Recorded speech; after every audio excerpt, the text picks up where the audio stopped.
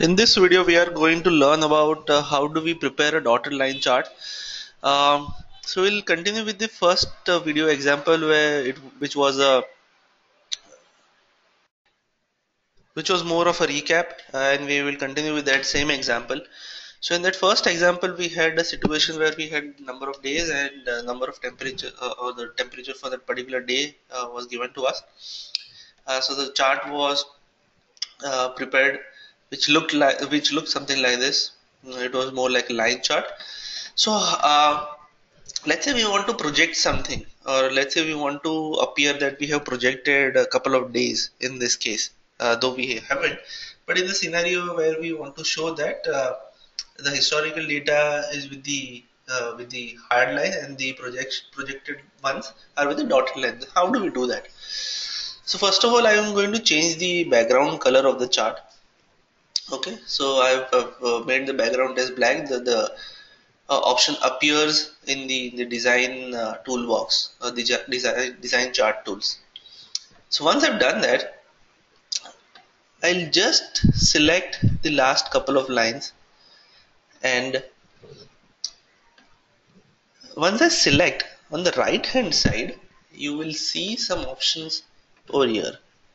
Something called as line something called as marker over here and in that particular option so let's say I'll close this. I'll close this. I'll select this line again. And the, the option appears over here. In this fill and line option there's something called as dash type. So over here dash is a hard solid line.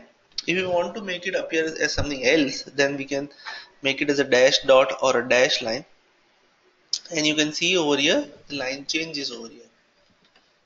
From the solid to a dash kind of a thing. Let's try one more time. Click over here. Dash type. And make it appear as a dash.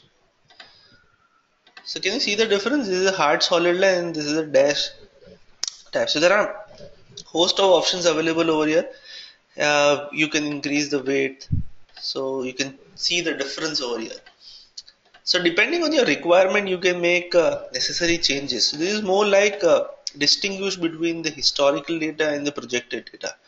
So this is nothing more. This is just an cosmetic changes in the in the uh, in the entire charting scenario. Also you can change the markers as well. You can change the markers as triangles you can select all the markers and uh, you can change the markers as well. And uh, we have host of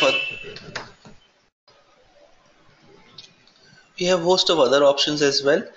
Uh, over here we can have shadow effects glow effects soft edges 3d formats etc etc so uh, what we have seen over here is we can we have uh, changed this uh, what we have seen in this video is we have changed this hard line into a dotted line and we have changed this marker. See you can see the triangle over here instead of a circle over here. So you can change the marker as well.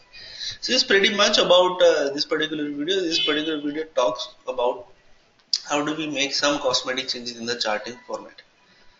So thank you for watching this. Hope you have learned a good amount of uh, you have solid basics uh, before we go into the advanced charting techniques